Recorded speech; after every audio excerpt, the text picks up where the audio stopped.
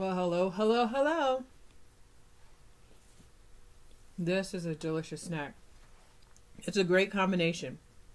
Grapes and granola bars. Perfect snack. Our letter of the day is letter G. G is for grapes. G is for granola bar. G is also for lots of other things. I'd like to draw with you, so get your hands ready. First, we'll fold the top of our paper down a ways, just a little bit. And today we're going to do something a little different. We're going to take this paper now that we folded it forward. Now we're going to fold it back just a little bit.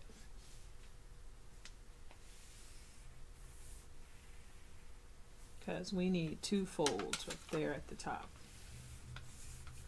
Good. And at the bottom, just one little fold will do.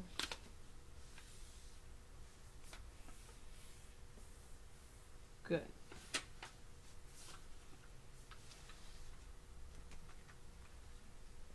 Let's grab something to write with.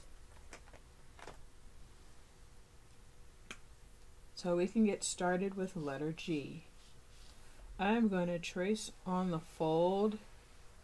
This is the first one we made. And then the second one we made, I'm going to make a dotted line. They, they look like little dashes. Take your time. Keep your eye on the line.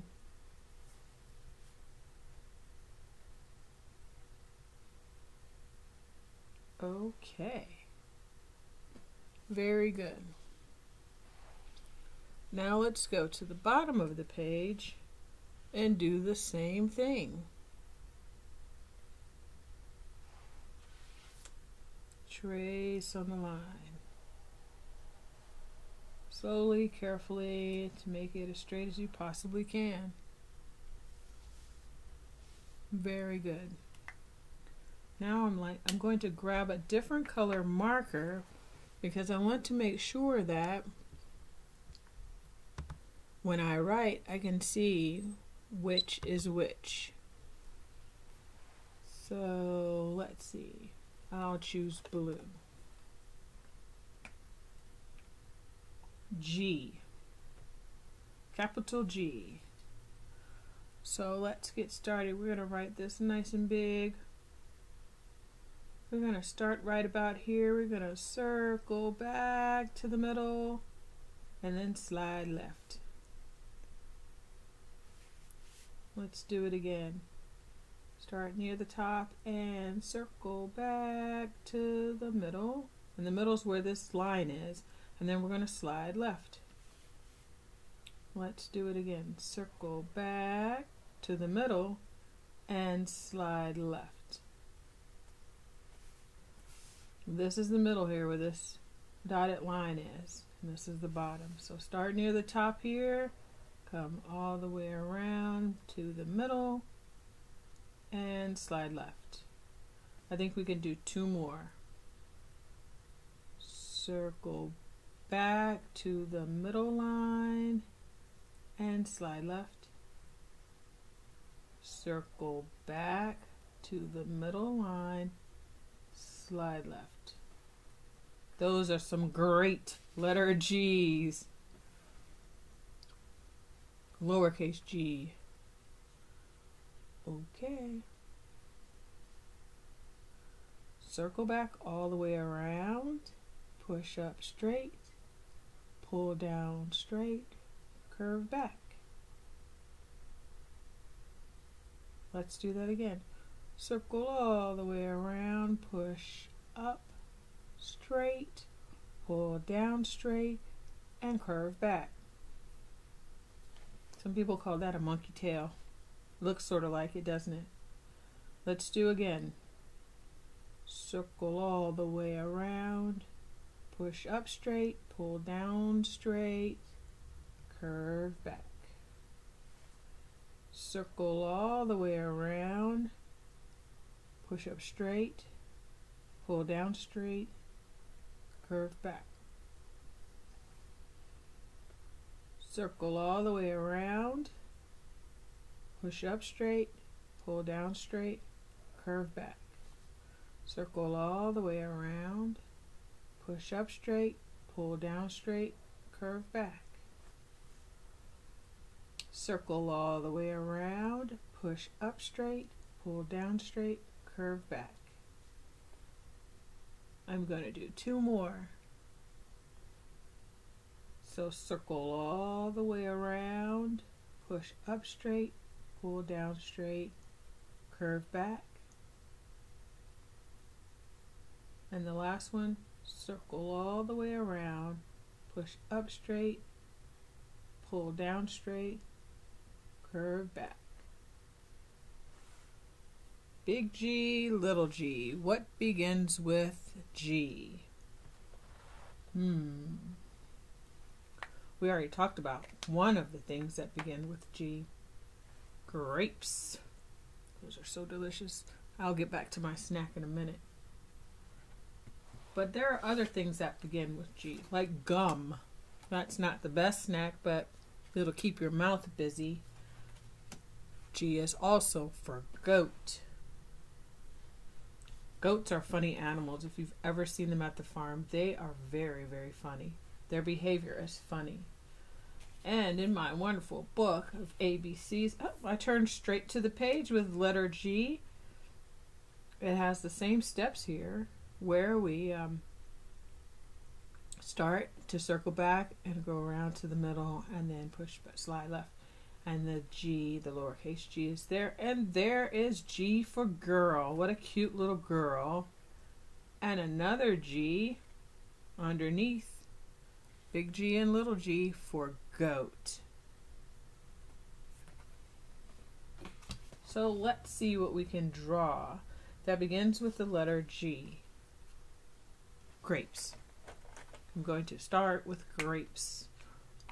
Drawing grapes is easy because they're ovals, circle shapes that are really close together.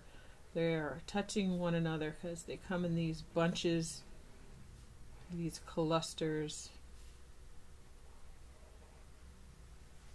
They're usually touching one another, and then they'll have the stems that are connecting them. G is for grapes.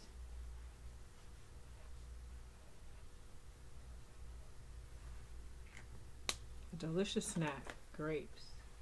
Hmm, another G word.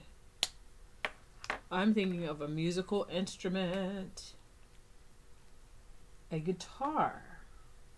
Now, guitar shapes has shapes that are curvy.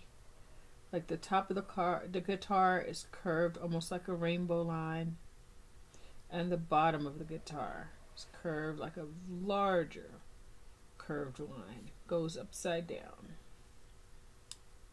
And it has a hole, and that's where the sound vibrations come from. And the neck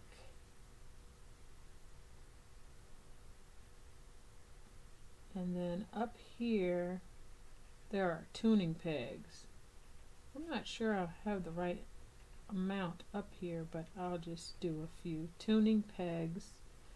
And then down here, there's a rectangle for holding the strings that come down from the neck. The strings come down from the neck. They go across the hole where the sound comes out. I think there are six. I'm doing my best to get six in here. For this is our guitar. I once took guitar lessons, but I moved away and couldn't continue, and then I switched to the clarinet. I don't play either of them now. But G is for guitar. Here's an easy one.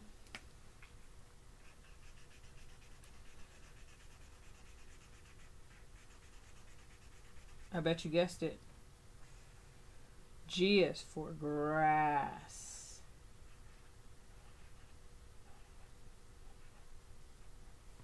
Green grass. Okay, hmm. Something else with letter G. How about this one? Something spooky. A ghost.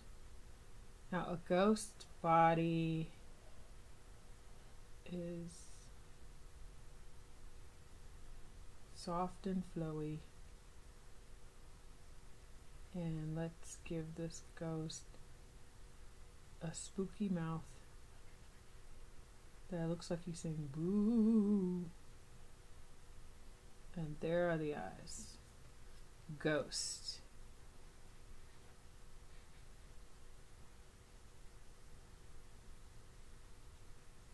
Ghost. Hmm. Oh, I know something else. Something that I wear on my face that I've had to wear since I was a little girl.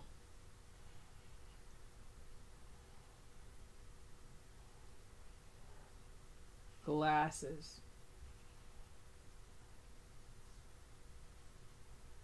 When I look at this sideways, it looks like a letter, capital letter B almost.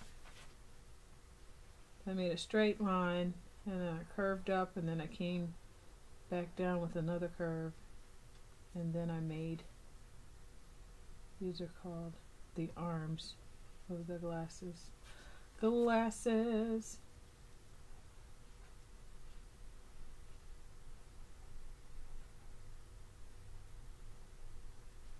very good what else starts with G oh Now, a goat, it might be too hard to draw, but this animal, I know you can do it. I'm going to do a giraffe. I'm going to start with a long rectangle neck and an oval for the body. And then I'm going to give this giraffe four long legs, two in the front and two in the back. And then I'll add a smaller oval for the head and two ears.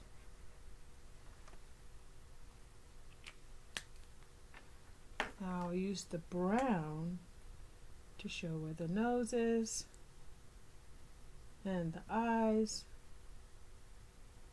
and some spots on this giraffe.